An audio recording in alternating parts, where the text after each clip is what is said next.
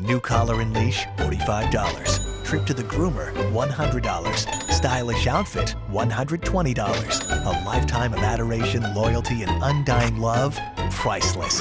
How has man's best friend become one of business's biggest moneymakers? Join Trish Regan and friends for a dog's eye view inside this $43 billion industry and a special look at the world's most prestigious canine competition.